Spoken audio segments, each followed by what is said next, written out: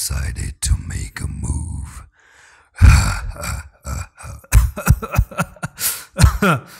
Assalamu alaikum everyone and welcome back to Luna Classic video update for Tuesday 11 of October and this is dropping isn't it? It's actually dropping 27,740 we're looking at uh, the price drop. People were bullish and bullish and bullish um, I mean, it, there's no guilt being bullish on, in the long term, though. There's no any guilt for you. But you can already see, uh, yesterday we talked about this one, and head and shoulders everywhere. Okay, left shoulder, head here, the right shoulder, left shoulder, head, right shoulder. So head and shoulders it's just a party of head and shoulders. And uh, it's now now people might start to believe my analysis a little bit uh, because for a long time i've been calling the shots down here for this technical target to to, to that yellow line which is actually 14,000 or even 13,000 and 12,000 it's just a box. I might actually do one thing you know instead of dropping that one blue line this is gonna be an area actually. So it's gonna be this area down to where do I put that? Just like that. Okay? That's the box we're looking for actually drags all the way down to 11 so this is the low that i'm looking forward to. That's where i'm expecting luna classic to actually come and spend some time and this could be an amazing entry opportunity down here again on a swing trading concept. Because if you talk about you know day trade and scalping then 14,000 and 12,000 is a very big area in the smaller time frame. But it's actually a very pleasant area based on a swing trade. This is like more of an entry uh, then if you're looking for scalping then you know buy at 14 so you know you're gonna say hey from 14 to 12 that's a huge dump because yeah it's a huge dump because you're scalping and looking at the smaller time frame just as i've been saying all along for for a long time i made a video talking about who are you as a trader because some people are gonna say that you know this what is happening here a huge pump and dump pump and dump pump and dump. But if you look at the four hour and the daily this that's that actually looked like just consolidation and just a very straight line. If you look at the smaller time frame it's not a straight line but there's bombs and explosions going on in here. Uh, if you look at the smaller time frame this is a bomb going on and, a, and an explosion going on. But then again when it comes down to the concept of the swing trade and the day trade and the you know intraday trading that's actually um, a very very small thing. Imagine this is your 15 minutes chart time frame okay? You imagine this is a 15 minutes time frame or one minutes time frame. Left shoulder head right shoulder easy technical target. Take the top to the bottom is just down to 14,000 how you go there actually depends and you broke out of the neckline went up coming for the retest and you're looking to go down. Um, I don't know how many people are going to be interested to actually start learning if if it drops down to this level. I mean I do deserve your attention to to take a trading course because people are taking a trading course. And you can always check that in my in the link of uh, you know in the description of this video below. Check i put my six years of blood and sweat and hard work for you not to take it. Come on seriously message me on twitter if you want it okay? This is my twitter. Come to adam coins underscore and you're gonna get um, me on twitter right over there and uh, yeah so this is the profile right over here adam's coin adam coins underscore. Don't get fooled by scammers okay? Make sure you you you can write that username. Anyways now coming back to luna classic and let's talk about the details okay?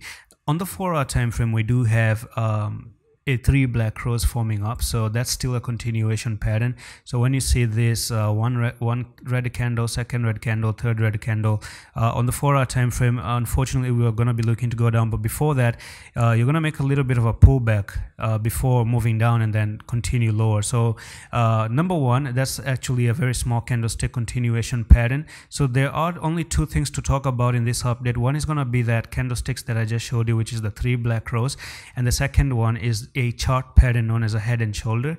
So uh, just for example purposes for beginners i'm going to actually uh, show you how they look like. So three black crows right over there and into the images again.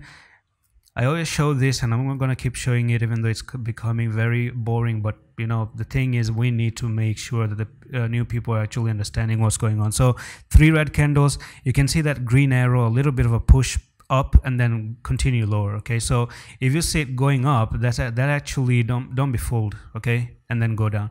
Uh, from here the uh, best example purposes can be this image right over here. And you can see a very th clear three black crows a little bit of a green and then boom continue lower. So that's exactly what i'm expecting okay? Number two after the three black crows is to show you uh, the head and shoulders. So head and shoulders pattern. Again if you want to learn all the trading in detail it's an 18 hours of content man a lot you're getting a lot for for this uh, price. Now, don't get fooled by $249, okay? This is almost like a university course. It's a full-fledged course for everything you need to know to become successful in trading, just the way as I'm showing everything to you right now. So left shoulder, head, right shoulder. So that's going to be, uh, you know, a bearish pattern that actually continues lower. So this one, right, is your left shoulder, the head here, and the right shoulder. So all that pump did was to make the right shoulder and nothing else. So where's the neckline? Um, the neckline is actually going to reside somewhere near here. Okay, so if we see Luna Classic making a little bit of a move to the upside, which is actually going to be up to 29,000, that's what I'm expecting. 29,432 go up there before dropping down to the next technical target which is going to be uh, down here. And I actually even talked about the reversal wave technical target a few days ago. So that actually takes you down to 22,000 and eventually 20,000 as well because that's your Fibonacci retracement reversal wave to the downside. So if I take the bottom there to the top right over here um, we, we do have uh, the golden ratio uh, been taken out as well. So uh, not this one not this one sorry uh, what am I looking at? Okay, so it's actually gonna be this bottom to that top right over there. Yeah, this top right over here. Oh, guys, what? Where where did I see that? Just a second, guys. Is this confusing right now? What am I doing? What am I doing? Okay. Um. Okay, okay. I've actually uh, turned the log scale on. Actually, my log scale was turned off and now I'm getting new technical target. So uh, the technical target actually for the reversal wave is going to be from the bottom here to the top and it actually shows a new target and uh, it's to the lowest possible place area of that box that I showed you which is 11,503 but I do expect actually this one right over here. So that's the reason why I draw the box okay? This box is the technical target. Now regardless of 11,000 or 14,000 I'm expecting it to come down and touch this box. I cannot exactly say which target is going to be but on the fib it's actually showing 11,503 finger crossed who knows that's still your reversal wave technical target, not my own opinion. Okay, so um, 25,000 is gonna be your technical target. Uh, sorry, uh, you're gonna, gonna come down here at 22,000, and you can see the problem is that when that head and shoulder technical target is coming down to 22,000, you're losing 0.618. So you're gonna come down to 22,000, 20,000, and then back test 0.618, which is 23,000 here spend some time here. And if you close below here we're going to talk about this in the future but if you're going to keep continue closing below 23,700 then get ready for these targets okay? Get ready for this low to be taken out and to come down to this box finally uh, after a long waited period of time. And that's where my uh, buying bids could be next buying opportunity can be. And not to forget we still are waiting for many many weeks right now for that uh, ultimate dirty retest okay? And that's pretty much it for this update. You're welcome. Hello office